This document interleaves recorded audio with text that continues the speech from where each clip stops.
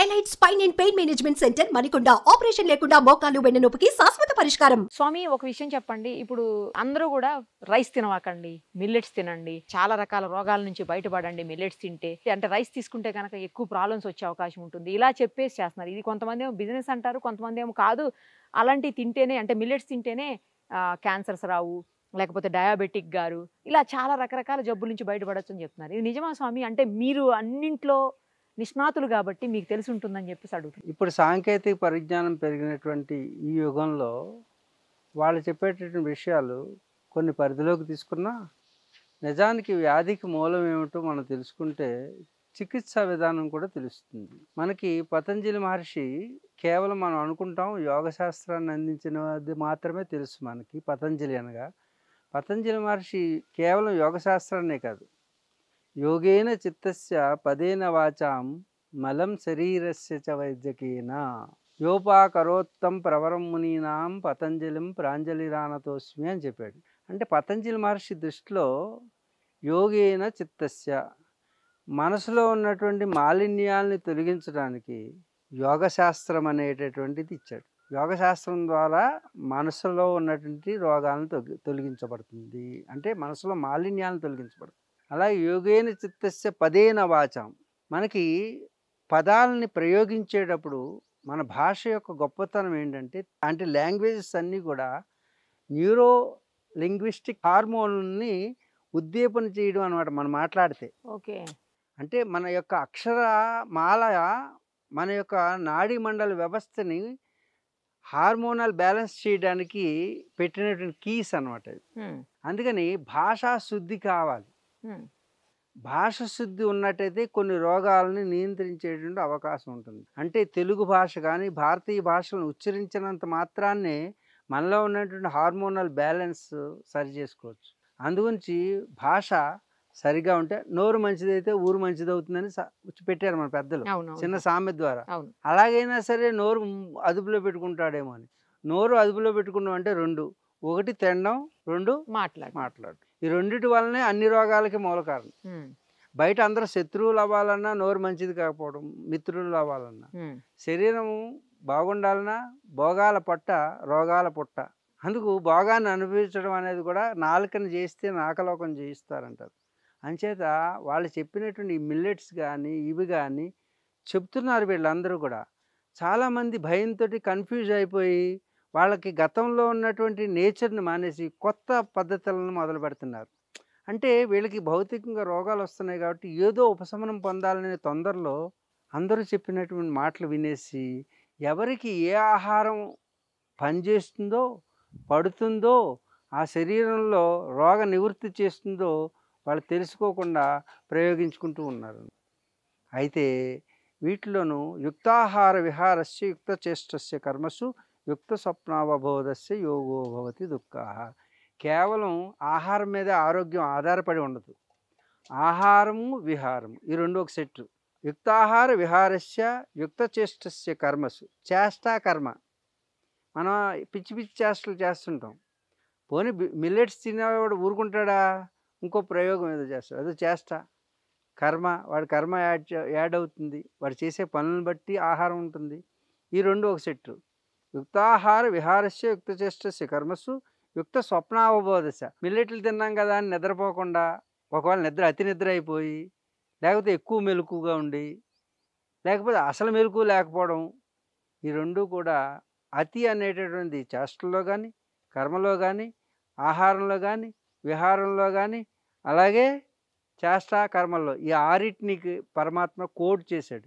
ఈ ఆరిట్ల సమన్వయంతో యోగం సిద్ధిస్తుంది కానీ రోగాన్ని నిర్మూలించాలి అంటే ఈ ఆరిట్ల యొక్క సమన్వయంతో ఒక మనిషి జీవన విధానం సాగిస్తే అవుతుంది. కేవలం ఆహారం మీదే ఆధారపడితే రోగం మాత్రం తగ్గుతుంది అనేటటువంటి గ్యారంటీ లేదు. మీరు మిల్లెట్స్ తిన్న వాళ్ళకి రోగం ఆగిపోయింది అని అంటే అది ఒక భ్రమ. కాబట్టి మీరు ఈ ఆరు విషయాలని జాగ్రత్త చేసుకోండి చాలామంది ఆహారమే చెబుతున్నారు కానీ ఆహారం పక్కనే పరమాత్మ ఆహార విహారం. మనం ఎక్కడెక్కడ తిరుగుతాం. ఏవేవో తిరుగుతుంటాం. ఈ రోగం ఎలా తగ్గుతుంది? కారణం తెలుసుకోవాలి. అలాగే చేష్టా కర్మ విహారం వ్యవహారం. స్వప్నం అవబోధం. స్వప్నం అంటే ఏంటి? పడుకుంటాం. అవబోధం అంటే లేచి ఉండడం. చాలామంది ఎక్కువ మెలకుగా ఉంటారు. అవును స్వామి. చాలామంది ఎక్కువ నిద్రపోతుంటారు. అతి సర్వత్రా వర్జయత్ ఎక్కువ మిలిటే మిల్లెంట్లు తినేయకండి. మిల్ అయ్యేయో అంటున్నా నాకు తెలియదు మిల్లెట్స్ మిల్లెట్స్ అట. ఇది తెలివైన శరీరం. మీకు ఏది కావాలో చెబుతుంది ఏది అక్కర్లేదో చెబుతుంది అది లేకపోవడమే బుద్ధి లేకపోవడం మీకు. అందుకే పతంజలి మహర్షి మనస్సుని సరి చేసుకోండి. ముందు మనసులో ఉన్న మాలిన్యాలు తొలగితే మీకు యోగేన చిత్తస్య పదేన వాచాం. మీరు నోరు రెండు రకాలుగా బాగు చేసుకోండి. ఒకటి తిండి. రెండు మాట. మూడవది మలం శరీరస్య వైద్యకేన. వైద్యం చేయించుకోండి శరీరానికి రోగం వస్తే అన్నారు. అంతేగాని యోగా చేయండి అని చెప్పలేదు. ఎవరు? పతంజలి మహర్షి. యోగా వలన రోగాలు తగ్గుతాయి అనేది యోగ శాస్త్రంలో ఎక్కడా లేదు. పతంజలి మహర్షి కానీ యోగా వల్ల కొంచెం మెంటల్ స్ట్రెస్ తగ్గుతుంది అంటారు అదే చెప్తున్నా. మనస్సుకు మనస్సుకు సంబంధించిన శాస్త్రం అనే చెప్తున్నాను నేను. ఓకే.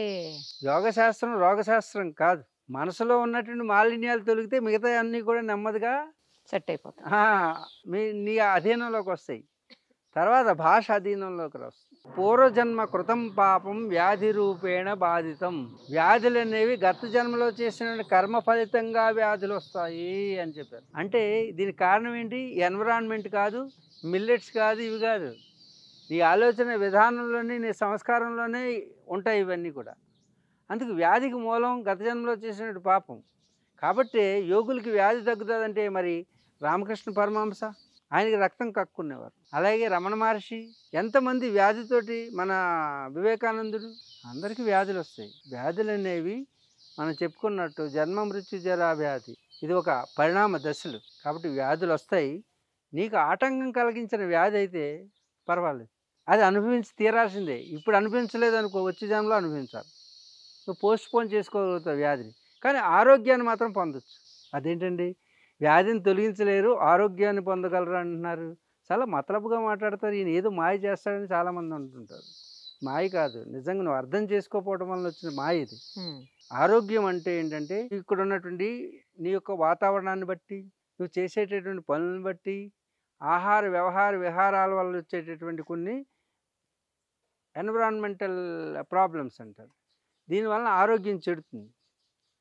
ఆరోగ్యం చెడితే ఆరోగ్యం భాస్కరాధీనం అన్నారు సమాధానం. ఏంటి? ఆ సూర్య భగవాన్ని అర్థించి ప్రార్థిస్తే ఆరోగ్యం వస్తుంది అంటారు అంటే నువ్వు సూర్యుడి యొక్క ఎక్స్ప్లోజర్లో ఉంటే తప్పకుండా కొంతవరకు నీకు ఆరోగ్యం అనేటువంటిది సూర్య భగవాన్ వల్ల వస్తుంది. కానీ వ్యాధి మాత్రం అనుభవించి తీరాల్సి వ్యాధికి నువ్వు ఎన్నెన్ని చేసినా తగ్గదు. ఇంకోటి చూడండి. వ్యాధులు అనేటువంటివి ఏమిటి? రోగాలు అంటే ఏమిటి?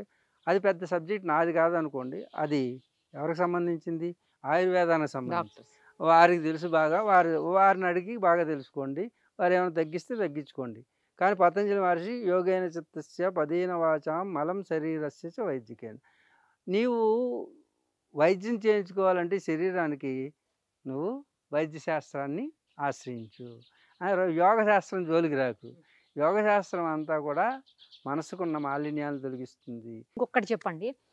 జనరల్గా గంటారావం చేస్తాం కదా. శంఖారావం గంటారావం వీటన్నింటితోటి పాజిటివ్ పవర్ వస్తుంది. అందుకే టెంపుల్కి వెళ్ళిన తర్వాత కూడా కంపల్సరీ మనం ఫస్ట్ గంట కొట్టే వెళ్తాం లోపలికి. ఆ గంట కొట్టడం వల్ల దేవుణ్ణి కూడా మేలుకొలిపినట్టు అని చెప్తా ఉంటారు అని నిజమా?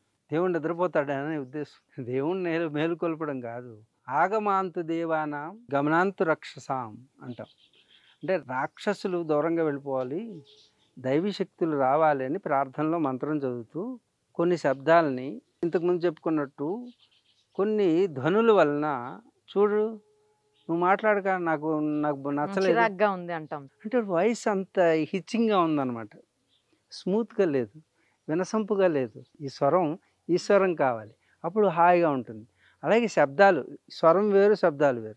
స్వరం అంటే మన నుంచి వచ్చేది. శబ్దం అంటే కొన్ని వస్తువుల ద్వారా వచ్చేది. ముఖ్యంగా ఆలయాల్లో ఘంటానాదం డమరుకనాదం అలాగే నాదస్వరం ఇవన్నీ కూడా ఈ ప్రకృతిలో ఉన్నటువంటి దైవీ శక్తుల్ని ఆవాహన చేస్తుంటాయి. ఒక- ఒక చోటకు తీసుకొస్తాయి. కేంద్రీకృతం చేసి విగ్రహంలో ఉన్నటువంటి ఈ యొక్క శక్తులన్నీ నిగ్రహించబడుతుంటాయి. గ్రాహ్యమంగా అంటే తీసుకురావచ్చి దాంట్లో పెట్టడానికి ఉపయోగపడుతుంది అలాగే ఆగమ శాస్త్రాల్లో ఉన్నటువంటి కొన్ని ప్రోక్షణాలు మంత్రాలు ఇవన్నీ కూడా అనుకుంటారు కానీ అవి మంత్రాలని మంత్రాలు కాదు.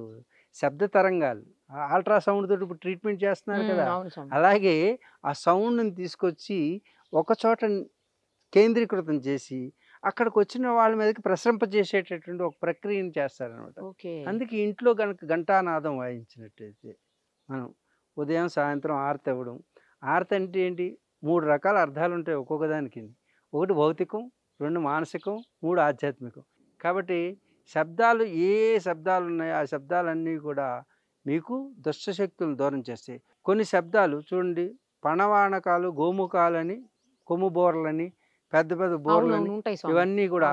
అవి దేనికంటే అమ్మవార్లకు ఉపయోగిస్తారు. ఇప్పుడు బోనాలు ఎత్తుకున్నప్పుడు పోతురాజులు నాట్యం చేస్తున్నప్పుడు బేరీలు పణవాన గోముఖాలు ఇవన్నీ కూడా వేరే ఆవేశాన్ని రెచ్చగొడతాయి. శరీరంలో కెమిస్ట్రీని పెంచుతాయి. బీపీని రేస్ చేస్తాయి.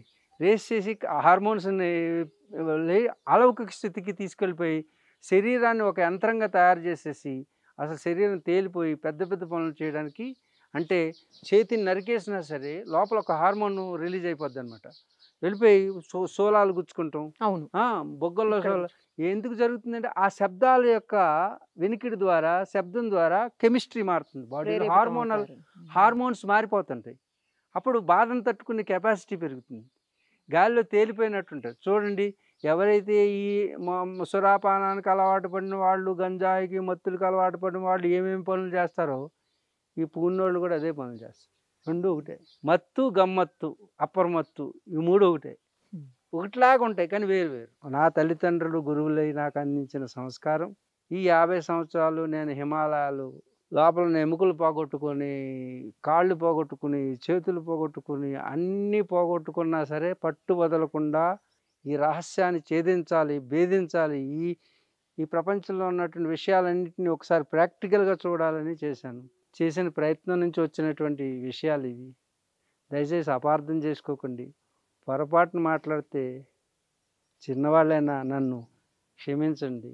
సౌరపీఠం తరపున సూర్య భగవాన్ని అర్థిస్తూ ప్రార్థిస్తూ మీ అందరికీ ఆయుర ఆరోగ్య ఐశ్వర్యాలు ఇవ్వాలని అలాగే మా నిరుపమ సదా ఇలాంటి చక్కటి ప్రసంగాలను అందించాలని జ్ఞాన విజ్ఞానాన్ని అందించాలని కోరుకుంటూ తనకి తన ఛానల్కి ఆశీర్వదిస్తూ ఆ సూర్య భగవానుడు సదా మీ అందరి జీవితాల్లో వెలుగును నింపుతూనే ఉంటాడని ఆయుర ఆరోగ్య ఐశ్వర్యాలని ఇవ్వాలని అలాగే చూసే ప్రేక్షకులందరికీ కూడా సతతము నిరంతరము వినమ్రుడినై మీ సందేహానికి సందేశాన్ని అందించగలనని నేనంటే చాలామంది ప్రశ్నిస్తున్నారు. నేను కాదు. నాలో ఉన్నటువంటి అంతరాత్మ ఆ పరమాత్మ మీకు సమాధానం చెబుతాడని నేను విశ్వసిస్తూ సెలవు.